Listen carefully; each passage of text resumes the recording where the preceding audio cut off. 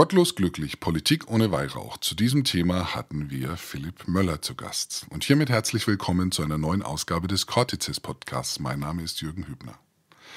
Philipp Möller wird den meisten von Ihnen als Pressesprecher der Buskampagne bekannt sein und vor allem als Bestsellerautor. Er schrieb unter anderem Ich geh Schulhof, Bin ich Freak oder was, Ich hab Geistesblitz und zuletzt Gottlos glücklich 2017 bei Fischer erschienen. Seit 2009 ist ähm, Philipp Möller Pressereferent der Giordano Bruno Stiftung. Mein Kollege Hans-Jörg Albrecht hatte am Rande unserer Veranstaltung Gelegenheit, äh, mit Philipp Möller zu sprechen. Und ich wünsche Ihnen wie immer dabei viel Spaß und viel Freude beim Erkenntnisgewinn. Ja, die Kooperation des Bundes für Geistesfreiheit in Fürth und Cortices, äh, dem Institut für Populär populärwissenschaftlichen Diskurs, hat ja dazu geführt, dass wir dich hier erleben dürfen in Fürth.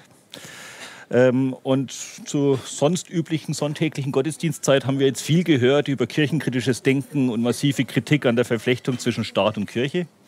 Ja, und jetzt würde ich mal fragen, was unterscheidet denn diese Veranstaltung von den anderen, die du bereits erlebt hast?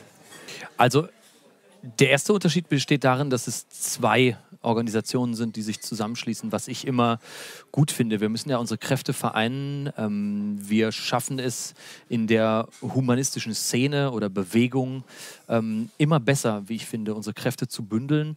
Und das macht die Veranstaltung anders. Ähm, was ich aber noch deutlich hervorheben muss, ist die Tatsache, dass ich heute ähm, mehr oder weniger gezwungen wurde, meine bisherigen Ausführungen zu Gottlos glücklich nochmal ganz speziell zuzuspitzen auf die Frage nach äh, Politik ohne Weihrauch. Der Titel ist schon mal was ganz Neues. Der Titel ist damit schon mal was ganz anderes.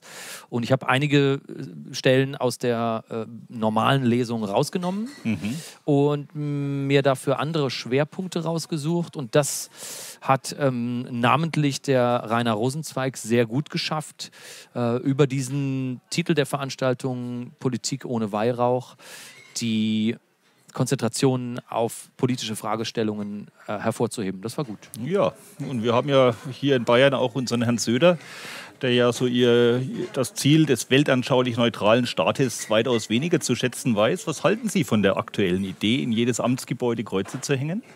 Ja gut, äh, die, der, der, der CSU-Vorstoß, in jeder bayerischen Behörde ein Kreuz aufzuhängen, widerspricht natürlich in wirklich eklatanter Weise jeglicher säkularen Idee.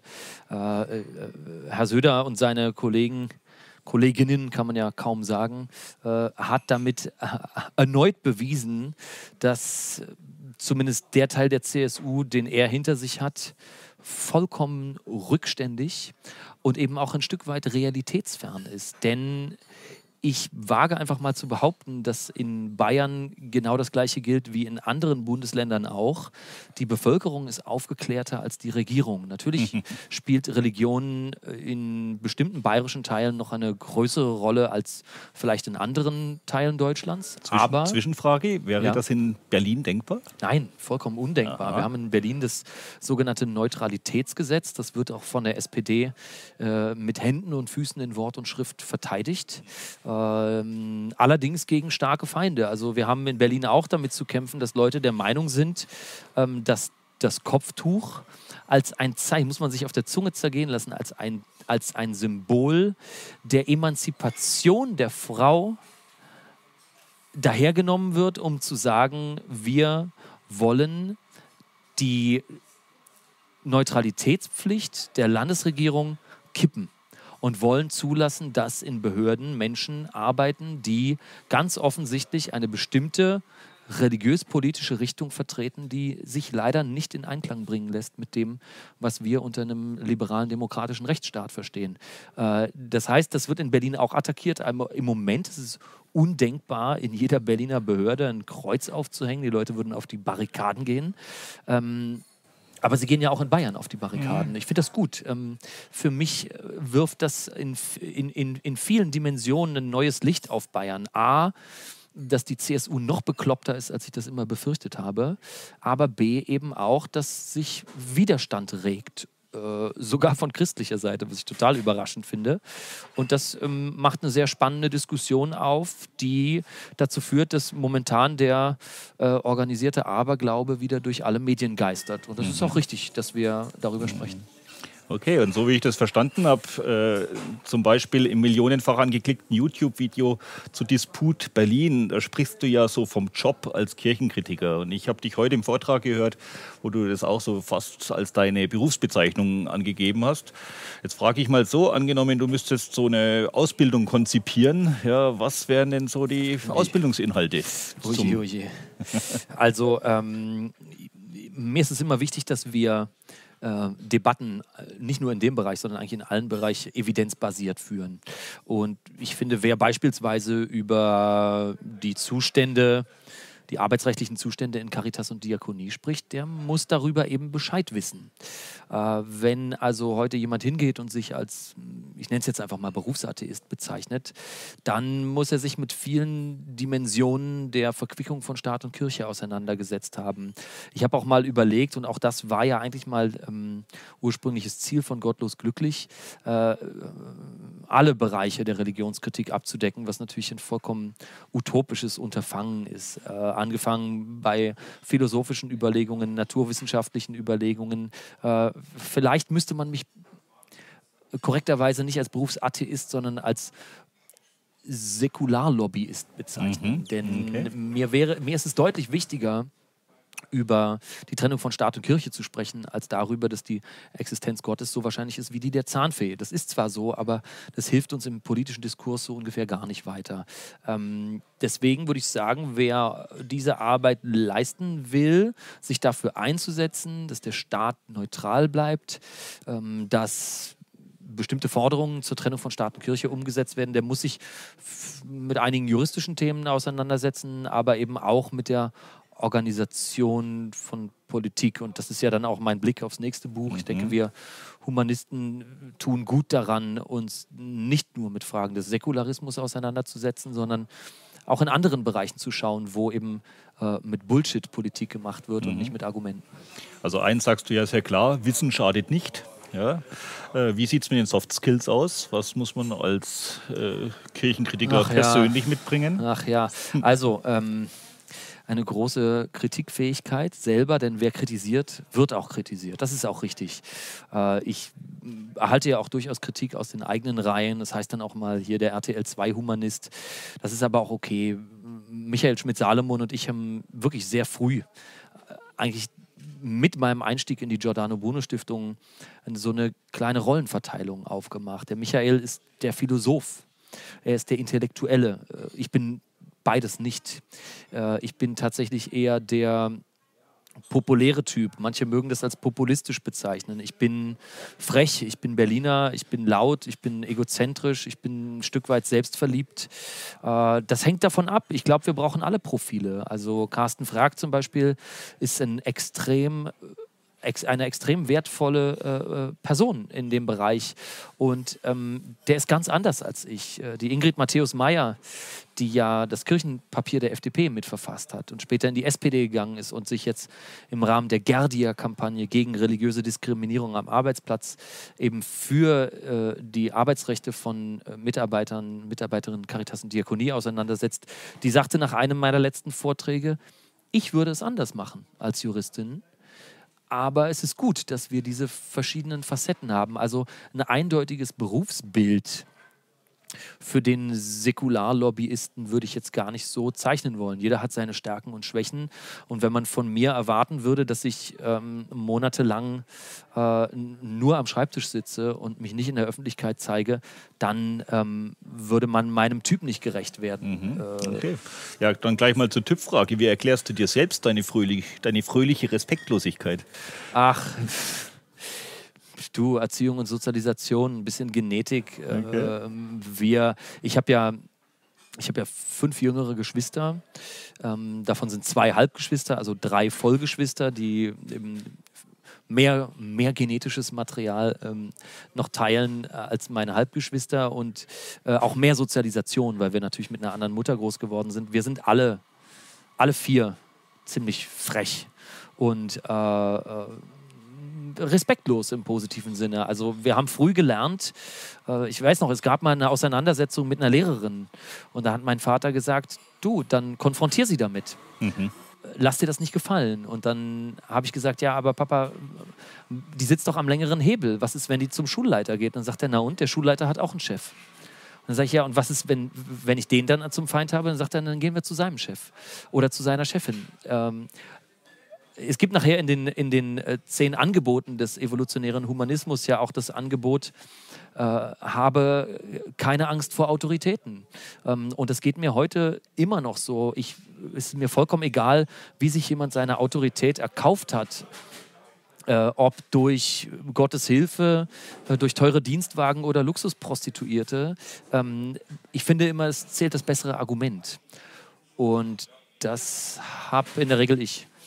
Vielleicht gibt es sowas wie innere Autoritäten. Von welchen Menschen hast du in Bezug auf unser Thema am meisten gelernt? Naja, es ist schon, also ich denke mal, zuerst war da Carsten Frag. Carsten war derjenige, den ich zusammen mit Michael Schmidt-Salomon in den Medien wahrgenommen habe.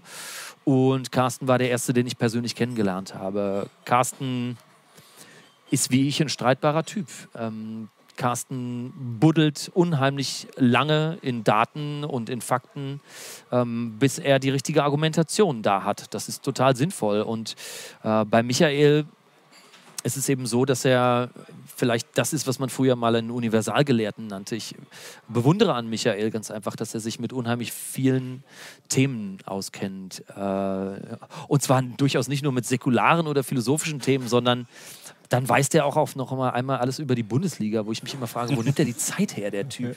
äh, das sind schon so, also diese zwei Namen würde ich mal nennen. Ich habe ganz tolle, einen ganz tollen Professoren vor allen Dingen an der Uni gehabt, mit dem ich viel über Sozialisationstheorien gestritten habe. Wer oder was bestimmt das menschliche Verhalten? Ähm, das war spannend. Ähm, aber mir begegnen eigentlich immer wieder Leute, bei denen ich denke, okay, da kannst du dir ein bisschen was mitnehmen. Karl-Heinz Deschner hat gesagt, ein Kopf denkt nie allein.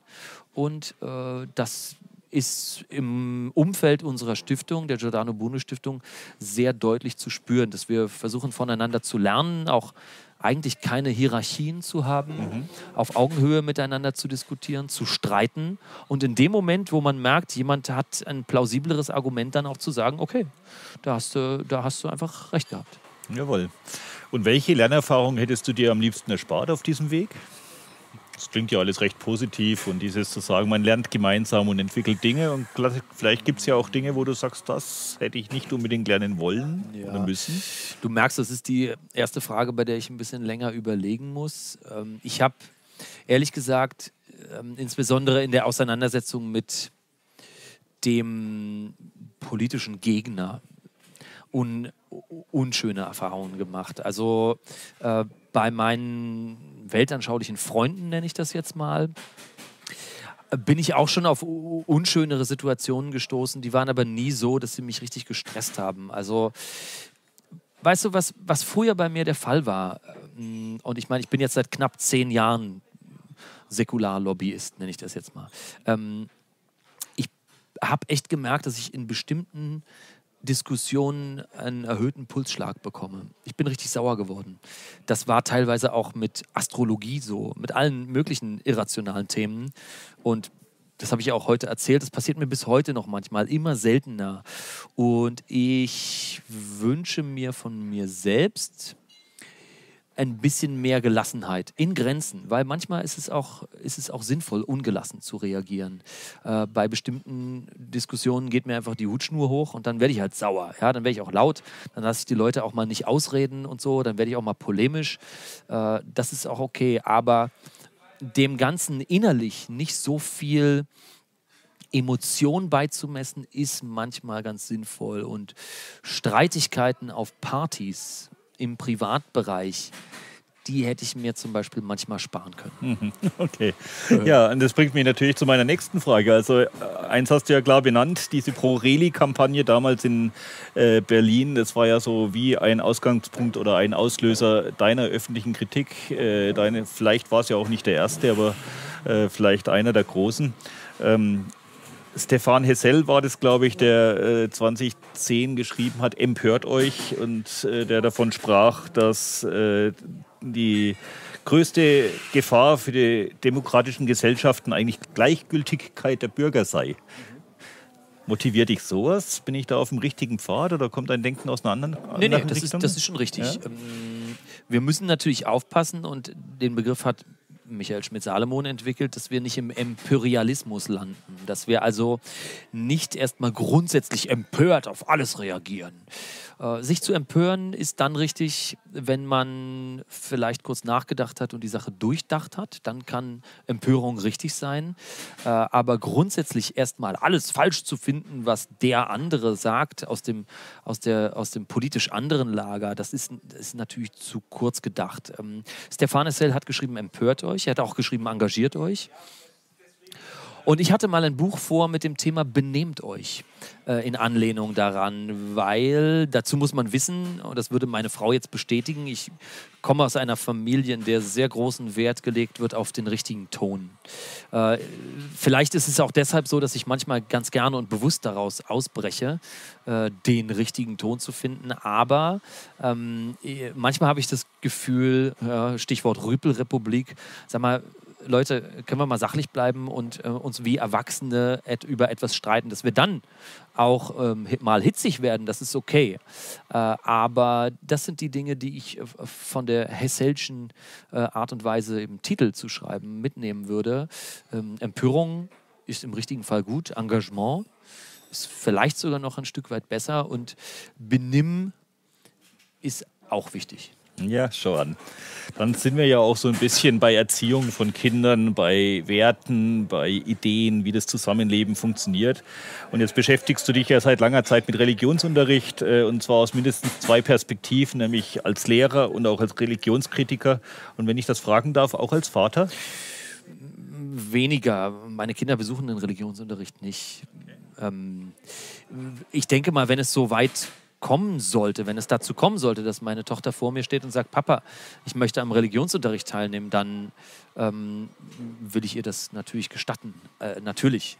Ich habe auch einen Freund, der schickt seine Kinder ganz bewusst in Religionsunterricht und sagt, know your enemy. Du musst ja das kennen, womit du dich später kritisch auseinandersetzt. Äh, meine Tochter ist vollkommen ratlos wenn jemand von Gott spricht. Die weiß gar nicht, was damit gemeint ist. Okay. Äh, wir waren ja auch äh, vor gar nicht allzu langer Zeit mal zusammen in der Kirche, in der Gemeinde meines Vaters, wo mein Vater Kirchenmusiker ist. Und da wurde ein sechs Monate altes Baby getauft. Und der Pfarrer sagte, wir freuen uns, dass die Kleine heute zur Taufe erschienen ist, freiwillig. Was für ein sonderbares Bild. da hat sogar meine Tochter gesagt, aber Papa, freiwillig, die, die ist doch ein Baby, das kann die doch gar nicht entscheiden. Meine Tochter ist sieben. Das finde ich schon sehr smarte Einsichten. Und ich sage mal so, rein statistisch gesehen ist die Wahrscheinlichkeit, dass meine Tochter, die aus einem konfessionsfreien Haushalt stammt, religiös wird, sehr gering. Äh, ich würde ihr das nie ausreden, aber sie ist eben manchmal konfrontiert mit den Aussagen anderer Kinder, Kinder religiöser Eltern, die dann in einer vollkommenen Selbstverständlichkeit von Gott sprechen. Das kapiert meine Tochter mhm. einfach nicht. Die ist da ähm, religiös so und musikalisch wie ich. Und ich denke, das wird bei meinem Sohn vermutlich in einer wilden Mischung aus äh, Biografie und Biologie äh, ganz ähnlich werden. Natürlich bin auch ich mit den Fragen nach dem Tod konfrontiert. Papa, wo ist denn Uroma jetzt, äh, nachdem sie gestorben ist und so? Und weißt du, was ich ihr ehrlich sage? Die gibt es nicht mehr. Die existiert noch weiter in unseren Köpfen, weil wir an sie denken. Aber sie lebt als Mensch nicht mehr, sie existiert als Mensch nicht mehr. Und meine Kinder haben das bisher sehr gut verstanden. Mhm. Das bedeutet ja, dass du Wertevermittlung an der Schule anders aufziehen würdest, als sie zurzeit läuft? Also das Thema Wertevermittlung an Schulen ist ein Riesenthema, was man äh, didaktisch, pädagogisch sehr sauber aufarbeiten muss. Ähm, meine Frau studiert LER, das ist in Brandenburg, also studiert in Potsdam. Ähm, das Pendant zum Ethikunterricht heißt Lebensgestaltung, Ethik, Religionskunde. Und da wird ganz, ganz stark darauf geachtet, dass man Kindern etwas über Religion und über Weltanschauung beibringt. und sie im wirklich im klassischen aufklärerischen Sinne äh, ihnen dazu verhilft, wie das Denken funktioniert, statt ihnen zu sagen, was sie zu denken haben. Und da kommen natürlich Kinder aus den verschiedensten Elternhäusern, die dann vielleicht sagen, Mensch, meine Eltern sind aber Christen, die glauben an Gott und ich glaube auch an Gott und meine Eltern glauben vielleicht auch an Gott, aber an einen anderen und die nächsten sagen, meine Eltern wählen die AfD, ich finde alles Kacke, so ungefähr. Mhm. Äh, das, da ist man als, äh, steht man als Ethik- oder LER-Lehrer vor riesigen Herausforderungen und Fragestellungen, die sich im Rahmen eines solchen Podcasts kaum beantworten lassen. Aber äh, ich denke, wir können immer uns auf zwei Dinge einigen. Und das ist Aufklärung und Selbstbestimmung. Wir müssen Schulen dafür nutzen, den Kindern nach und nach alle Informationen über diese Welt zur Verfügung stellen, die wir bereits haben, damit sie im angemessenen Alter selbst darüber entscheiden können, welche Weltanschauung für sie die plausibelste ist. Und wenn wir die zwei Dinge beherzigen, ich denke, dann können wir eigentlich nicht mehr in die Falle der Indoktrination tappen. Mhm. Ja, jetzt frage ich dich mal so als Außerirdischen, ja, wenn du mit auf unser bayerisches Schulsystem blickst und äh, ich weiß nicht, ob dir bekannt ist, dass wir genau hier in Fürth die einzige humanistische Grundschule in Bayern haben. Mhm, ja. ja was wären Empfehlungen an das bayerische Kultusministerium, an das Schulsystem? Empfehlungen ans bayerische Kultusministerium Mai und das von einem Berliner. Also äh, erstmal wechselt mal eure gesamte Regierungsmannschaft aus. Die Betonköpfe, äh, mit denen kommt ihr nicht voran. Ähm, ich habe als Berliner natürlich ähm, so eine gewisse Art äh, Natural Born Anti-Bavarian mitbekommen. Aber ich habe mich eigentlich immer total wohlgefühlt in Bayern und mit Bayern, mit bayerischen Menschen.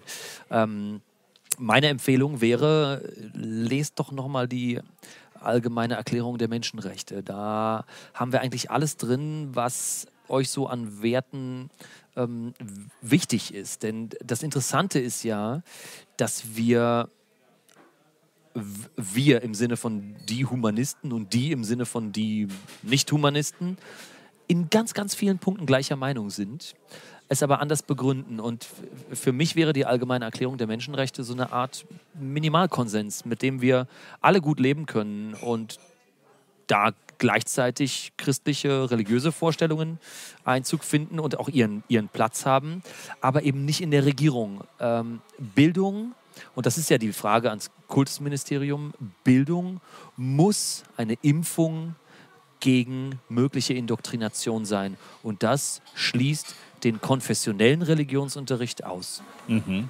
Okay. Ja, wir sind, haben das Thema schon mehrfach gestreift. Äh, ausgehend vom Spruch, die größten Kritiker der Elche waren früher selber welche. Ja, könnte man ja meinen, dass du einen sehr kirchennahen familiären Hintergrund hast. Nee, überhaupt nicht.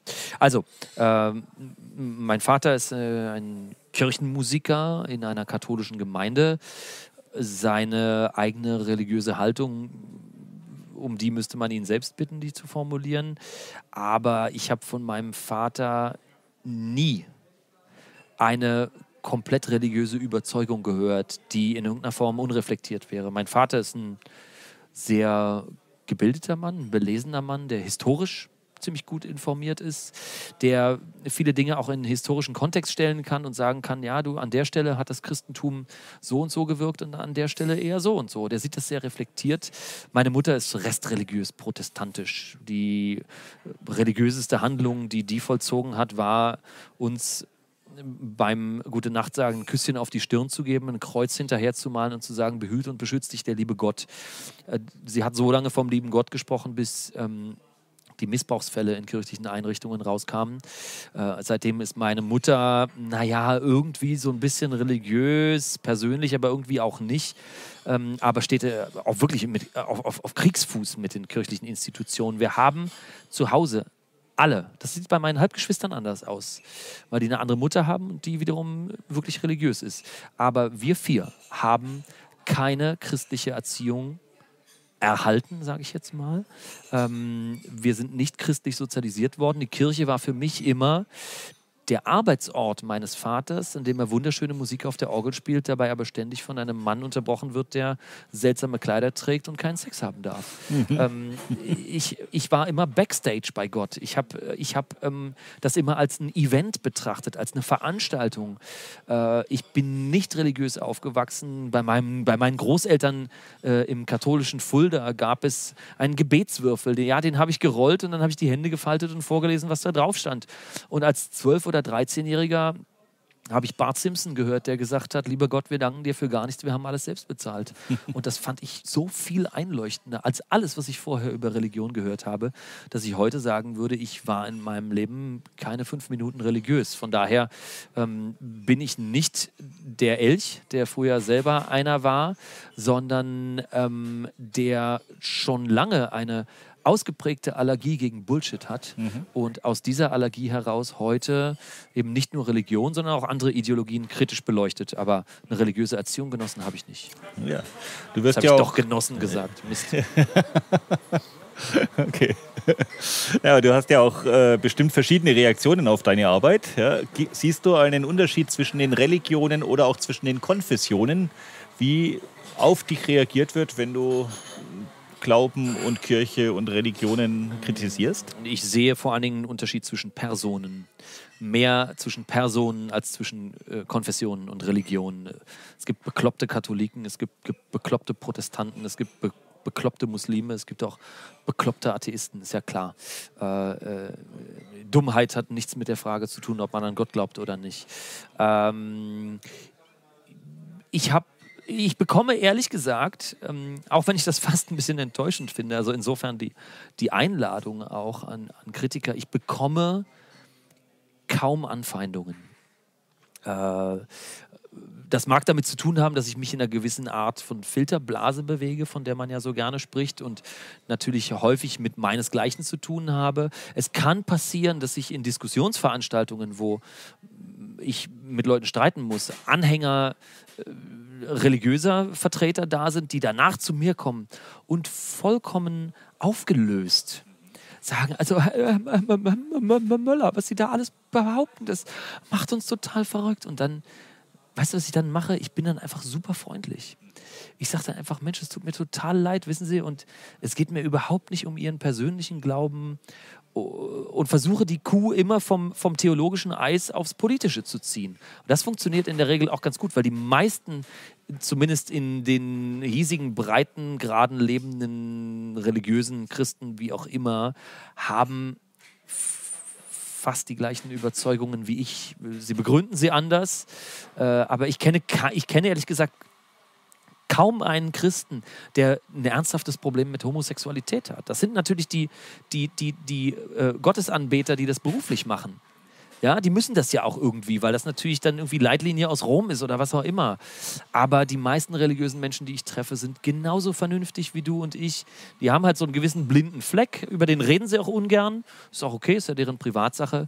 Äh, aber ich merke da eigentlich keinen Unterschied. Ich treffe nette Menschen und furchtbar unnette Menschen aus allen Konfessionen und die unnetten Menschen treffe ich total selten und das ist mir auch echt recht.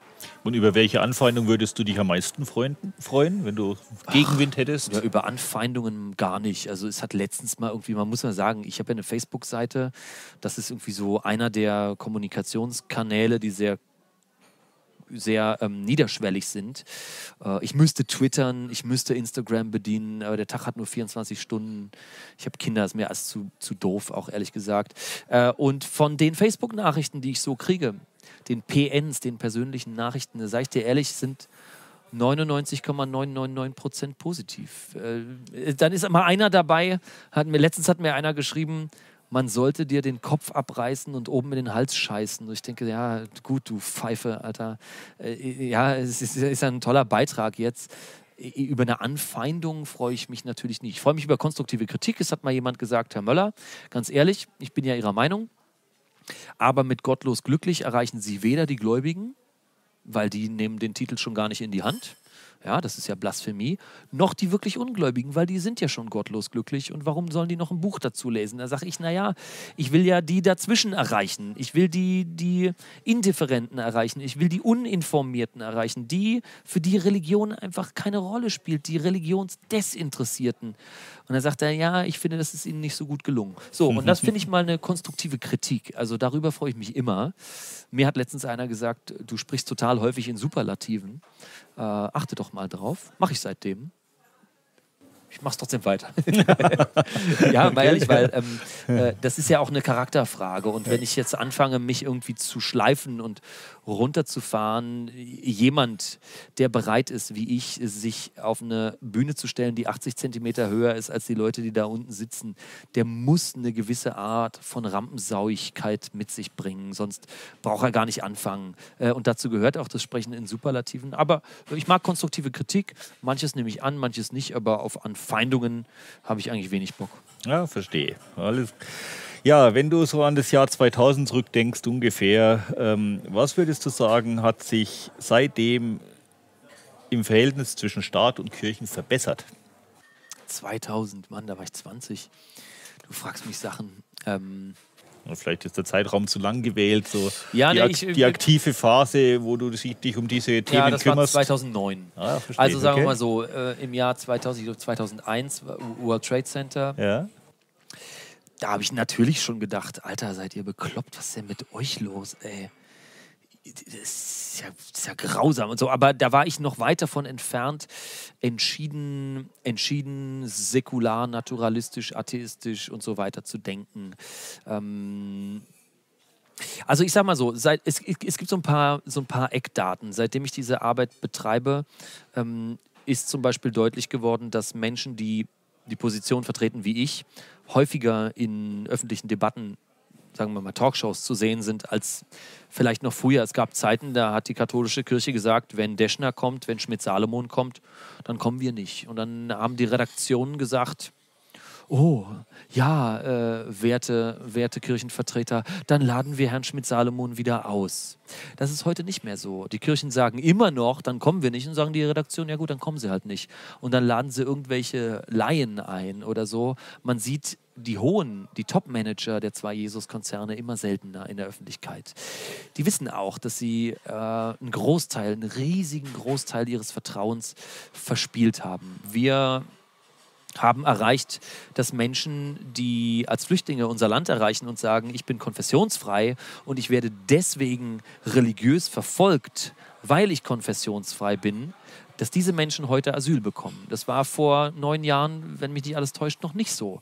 Da haben die deutschen Behörden gesagt, wie, sie sind religionsfrei, da können sie ja gar nicht religiös verfolgt werden, was natürlich ein, ein äh, furchtbarer Irrtum ist, weil wenn du als Apostat in, in bestimmten islamischen Ländern auffliegst, dann wirst du halt auf offener Straße erstochen oder erhängt oder gesteinigt oder was auch immer. Das haben wir geschafft. Wir haben jetzt ähm, das EuGH-Urteil aus Luxemburg bekommen, äh, das besagt, dass Kirchen bei äh, Jobs in ihren Einrichtungen in Anführungsstrichen, die nicht verkündigungsnah sind, keinen Taufschein mehr verlangen dürfen. Das ist ein Riesenschritt. Ähm, wir haben es geschafft, als Atheisten nicht mehr als die komischen Schmuddelfreaks wahrgenommen zu werden, sondern als diejenigen, die neben 26 Prozent Katholiken, 29 Prozent Protestanten, sowas in der Art, mit 36 Prozent die größte gesellschaftliche Gruppe darstellen, nämlich die Konfessionsfreien. Und ja, die Hoffnung stirbt zuletzt, aber ich sehe gute Chancen darin, dass in dem Moment, wo die Konfessionsfreien, wie in Schottland oder in den Niederlanden, die 50-Prozent-Marke knacken, bestimmte Privilegien ganz anders diskutiert und wahrgenommen werden, als das bisher der Fall ist. Wir bohren da echt dicke Bretter das ist ähm, vor allen Dingen die unheilige Allianz aus äh, Politik und Christentum, die uns das noch total schwer macht. Aber ich denke, wir sind auf einem guten Weg und wir können schon ein paar Erfolge verzeichnen. Mhm. Du sprichst ja die, den Lobbyismus der Kirchen an, die Verflechtung von Kirche und Staat, also wo ja Carsten Frerk auch den Titel äh, Kirchenrepublik Deutschland geprägt hat. Ähm, Wie siehst du die Chancen oder wie, wie stehst du zu dieser These? Äh, wie siehst du die Chancen einer Veränderung in Deutschland, um diesen Lobbyismus der Kirchen zu verändern? Ja, also Carsten macht, Carsten Frag äh, ist ja jetzt auch dabei, sich dem kirchlichen Lobbyismus wirklich sehr detailliert zu widmen in einer Studie. Das wird sicherlich interessante Ergebnisse zutage bringen. Also da kann ich allen Hörerinnen und Hörern nur empfehlen, äh, den Namen Carsten Frag weiterhin wirklich sehr deutlich auf dem Schirm zu haben. Was Carsten bei FOVIT macht, der Forschungsgruppe Weltanschauung in Deutschland, hat wirklich Hand und Fuß und hilft uns in, in Tortendiagrammen und Balkendiagrammen immer wieder äh, wirklich evidenzbasiert zu argumentieren. Also es ist eine Riesendiskussion und ich finde immer gut, wenn wir sie äh, äh, runterbrechen. Ich habe vor kurzem einen Gastbeitrag in einer Mannheimer Zeitung geschrieben, einem Mannheimer Morgen. Das habe ich mal das Ketzerdutzend genannt. Das sind meine zwölf ganz konkreten Forderungen zur Trennung von Staat und Kirche. Und um mal die ersten drei kurz zu nennen: ähm, die Kirchensteuer, äh, das kirchliche Arbeitsunrecht von Caritas und Diakonie und der Religionsunterricht. Ähm, beim kirchlichen Arbeitsunrecht von Caritas und Diakonie haben wir aus Luxemburg schon mal ein gutes Signal bekommen. Die Kirchensteuer wird auch unter kirchennahen Menschen und sogar unter Kirchenvertretern sehr kontrovers diskutiert. Wir sind das einzige Land weltweit, die tatsächlich die Finanzämter damit beauftragen, was am Ende etwa 1,8 Milliarden Euro pro Jahr kostet, diese Gelder einzuziehen. Und das sind alles Gelder, die wir aus öffentlicher Hand bezahlen. Ähm, die Argumente sind sehr gut auf unserer Seite. Der Lobbyismus steht genau dagegen. Das ist ja wie in anderen politischen Bereichen auch. Die Argumente Volkswagen Volkswagen vollkommen dafür haftbar zu machen, uns betrogen zu haben. Uns Kunden ähm, sind da, der Lobbyismus ist sehr stark und es droht die Gefahr, dass wir es nicht schaffen. Das ist ähm, im Bereich der Kirchensteuer ähnlich, aber ähm, wie gesagt, 50 Prozent konfessionsfreier. Meine Hoffnung ist so ein bisschen, dass das dann kippt. Politikerinnen und Politiker müssen auch verstehen, dass sie nicht mehr automatisch, und das gilt am Ende dann eben auch für den Religionsunterricht als dritten Punkt, nicht mehr automatisch mit der Befürwortung christlicher, religiöser Positionen Wählerstimmen äh, äh, bekommen.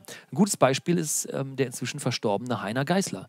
Der hat vor zehn Jahren mit Michael Schmidt-Salomon und Volker Panzer, der inzwischen auch Mitglied in unserer Stiftung ist, Volker als Moderator, Michael als anderer Talkshow-Gast, in der Talkshow gesessen und hat pro Christentum argumentiert. Und dann haben sie danach beim Essen gesessen und der Volker Panzer sagt, aber Herr Geißler, wie kann das denn sein? Sie sind doch wirklich ein schlauer, gebildeter Mensch. Äh, äh wie, wie kommen Sie denn darauf, diese ganzen, Christi, ganzen christlichen Positionen zu vertreten? Was sagt er? Tue ich ja gar nicht. Muss ich aber in der Öffentlichkeit. Sonst habe ich als Politiker sofort verloren. Das war vor zehn Jahren. Vor etwa einem Jahr im Juni 2017, wenn mich nicht alles täuscht, habe ich mit Heiner Geißler bei Sandra Maischberger gesessen. Und Heiner Geißler hat so glasklar säkular argumentiert, dass Sandra Maischberger danach backstage zu ihm sagte, Mensch, Herr Geißler, hätte ich das gewusst, wie Sie aufgestellt sind, dann hätten wir Philipp Möller gar nicht einladen brauchen. Stell dir mal vor. Mhm. Ja? Das heißt, der Typ hat im Laufe seiner, seines Lebensabends eine politische Haltung aufgegeben, die hoffentlich, sage ich jetzt einfach mal, stellvertretend ist für andere Politiker. Die CSU hat es immer noch gut drauf. Auch in der AfD gibt es noch sehr starke christliche Werte. In der CDU ist das schon aufgelöster. Wir können natürlich auch bei den Grünen und bei der SPD beobachten, dass Spitzenpolitiker auch immer spitzenreligiös sind. Aber da gibt es ähm, einen Shift, einen Wandel. Und ja, time will tell. Also die Zeit wird uns zeigen, äh, wo das hingeht. Aber das mag jetzt auch, ja, äh, das Sein bestimmt das Bewusstsein. Ähm, das mag jetzt auch natürlich aus meiner Position heraus formuliert sein. Die Hoffnung stirbt zuletzt. Aber ich glaube, wir sind da auf dem richtigen Weg. Zur Hoffnung habe ich auch noch eine Frage, aber vor, vorher noch. Ähm, du sagst ja, also heute auch im Vortrag, dass Gläubige sich ja gegen Kritik immunisieren. Dass äh, die Idee, äh, Religion und Glaube zu vertreten, eigentlich dazu führt, dass das, was logischerweise über Balkendiagramme und andere Fakten herangetragen werden kann, eigentlich gar nicht ankommen kann, durch diesen Immunisierungseffekt. Hast du ein Mittel dagegen? Nett sein. Immer erstmal nett sein. Niemand hört einem zu. Äh, und das muss ich aus schmerzlicher Erfahrung ähm, auch eingestehen. Niemand hört einem zu, wenn man als äh, der Klugscheißer daherkommt, der sofort Zahlen am Start hat und rein rational denkt. Den Fehler mache ich immer noch. Ja, weil für mich ehrlich gesagt ist die Sache ziemlich klar und ähm, ich halte rationale Argumente immer für wertvoller als ähm, so eine wischiwaschi Herangehensweise. Aber ich merke auch, dass es hilft, nett zu sein. Ähm, ich bin jetzt, nehme jetzt gerade an einem Seminar teil. Das findet statt unter dem Titel Begegne dem anderen. Und der Seminarleiter, der Bildungsträger, schafft es, äh, Menschen, und das ist auch das Ziel dieser Bildungsveranstaltung, Menschen verschiedener Überzeugungen in einem freundschaftlich-kollegialen Ton an einen Tisch zu holen. Das ist für mich ehrlich gesagt ein totaler Perspektivwechsel. Ja, weil ich auf einmal mit Leuten am Tisch sitze, die ich per se einfach erstmal mag. Das sind äh, Teilnehmer des gleichen Seminars wie ich. Wir haben dann so eine Auftaktveranstaltung gehabt, wo abends gefeiert wurde und ähm, wir uns alle echt gut verstanden haben. Und dann kann man auf einmal ganz anders miteinander reden, als man das vorher getan hat. Ähm, ich finde das spannend und das sollte man sich beibehalten möglichst nett an eine Diskussion ranzugehen. Ich habe zum Beispiel auch vor kurzem ich eine Radiosendung gehabt, mit einer Pfarrerin diskutiert. Die Radiosendung war mit Publikum, wurde aufgezeichnet. Und ich habe ehrlich gesagt einfach zu spät gemerkt, dass das zwar eine Pfarrerin ist, die von der evangelischen Kirche bezahlt wird, aber dass die eigentlich eine saukoole Socke ist. Und ich habe sie da ganz schön angefahren und mit meinen taffen, harten Argumenten äh, bin ich da aufgerockt. Und dann ist mir klar geworden, hey, wenn die nicht abhängig wäre von dem Gehalt, was die Kirche ihr zahlt, dann wäre die wahrscheinlich sogar auf unserer Seite. Und das wurde mir nachher vom, vom Publikum auch vorgeworfen, zu Recht. Also, cool bleiben, nett sein, freundschaftlich begegnen. Natürlich nicht bei Leuten, die irgendwie als Fundamentalisten auftreten. Da hast du, musst du ganz anders rangehen. Aber erstmal mit einem, mit einem Fingerspitzengefühl zu merken, wer steht mir hier gegenüber, wo, wie argumentiert er. Und spannenderweise kann ich nur aus der Erfahrung sagen, es ist fast immer so, dass man sich bei ganz vielen Überzeugungen dann doch irgendwo in der Mitte treffen kann. Na, das sind die, ist die Abschaffung der Privilegien, Trennung von Staat und Kirche und auch gewisse Überzeugungen, äh, zum Beispiel gegenüber Homosexuellen, sind die meisten Gläubigen äh, unserer Position. Deswegen denke ich, nett sein. Mhm, okay. Meine Frage zur Hoffnung. Ja, 1. Korinther ja. 13, 13, weißt du, was da steht? Nee. Nun aber bleiben Glaube, Hoffnung, Liebe, diese drei. Was bleibt bei Philipp Möller? Also was, was war es nochmal? Glaube, Glaube, Liebe, Hoffnung. Hoffnung, Liebe, diese drei. Also, auch ich bin natürlich nicht frei von Glaube insofern, als dass ich gewisse Überzeugungen in mir habe, die ich zumindest auf den ersten Schlag nicht rational belegen könnte. Ich glaube ganz profan, äh, indem ich vermute, zum Beispiel, dass ich noch was zu trinken im Kühlschrank habe und dann kaufe ich eben nichts ein. Ja, und dann komme ich nach Hause und mache einen Kühlschrank auf und sehe, oh shit, falsch gedacht. So, ähm, ich glaube, um wieder mal die Worte von Michael zu verwenden, Schmidt-Salomon, äh, an die Entwicklungsfähigkeit des Menschen. Ich glaube daran, dass es äh, möglich ist. Ja, es gibt Zyniker, die glauben das nicht. Das kann ich auch verstehen, aber ich glaube daran, dass es möglich ist, äh, die Welt zu einem besseren Ort zu machen. Ähm, ich habe die Hoffnung, dass sich möglichst viele Menschen daran beteiligen, die Welt zu einem besseren Ort zu machen. Aus welcher Motivation heraus finde ich fast zweitrangig, ehrlich gesagt. Äh, nicht die Motive zählen, sondern die Tat. Wenn dann natürlich von hinten durch die Brust ins Auge gesagt wird, hey, wir sind jetzt hier, um bei euch in Thailand die Opfer der Flutkatastrophe ähm, zu betreuen und gleichzeitig bringen wir die Bibel mit, dann ist das ein Problem. Aber wenn Menschen anderen Menschen helfen, dann ist das immer erstmal gut. Ob sie sich dadurch einen Platz im Paradies sichern wollen, beziehungsweise ähm, die Fahrt nach unten in die Hölle verhindern wollen, nun, das ist dann deren Sache, aber wenn sie helfen, dann helfen sie. Und Liebe, ach, ich bin voller Liebe, ehrlich gesagt. Du, ich, ich meine, äh, ich verbringe unheimlich viel Zeit mit meiner eigenen Familie, äh, die ich ohne Ende liebe. Ich habe tolle Freunde. Äh, ich begegne ständig neuen Menschen, die ich total positiv finde, auch Gläubigen. Und äh, möchte wirklich mich dagegen aussprechen, dass das Monopol der Liebe in den Religionen liegt. Ganz im Gegenteil. Sie haben äh, äh, nicht nur die Liebe, sondern vielfach auch den Hass gesät zwischen den verschiedenen Konfessionen.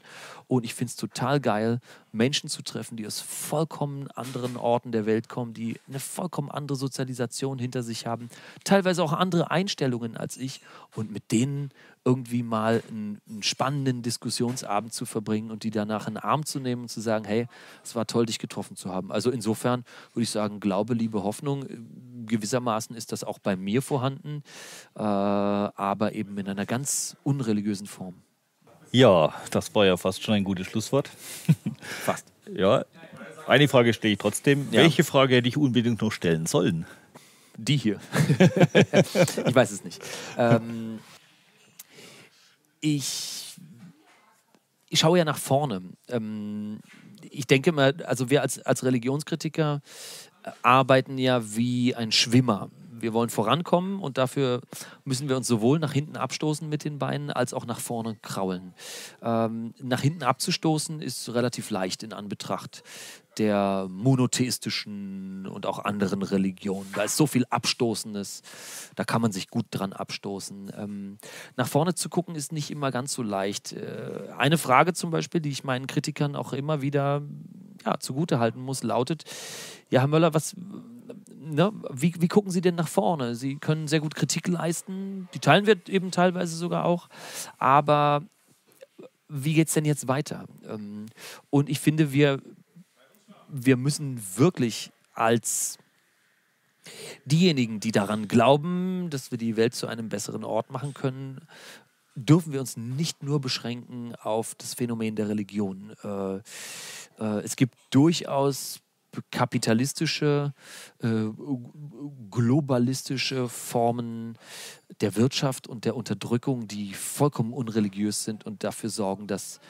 Millionen, wahrscheinlich sogar Milliarden von Menschen in ihrem eigenen Elend sitzen.